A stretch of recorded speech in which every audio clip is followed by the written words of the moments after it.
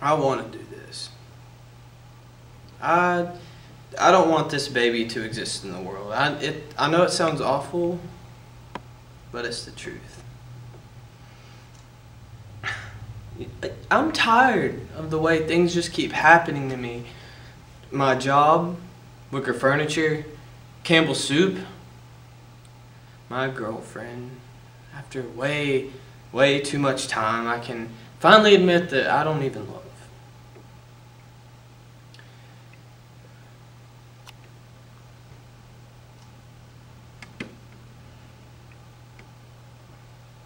It's all blurred together.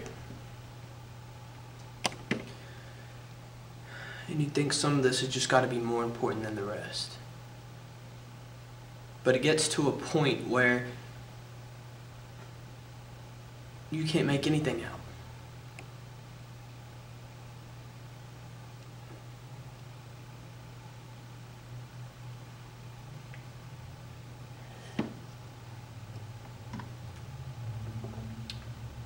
Okay.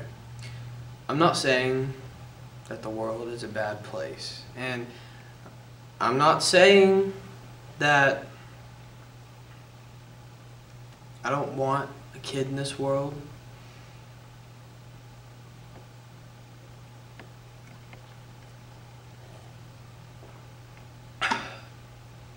My life is just too blurred right now. It's like one of those bad dreams that just keep going on and on and on and on and you wish like hell you could just wake up and it just keeps going on.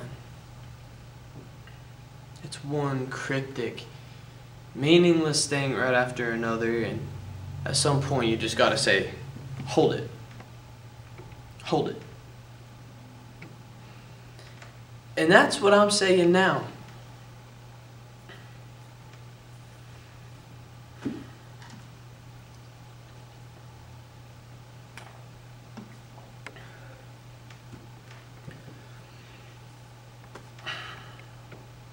A baby is not something that should just happen.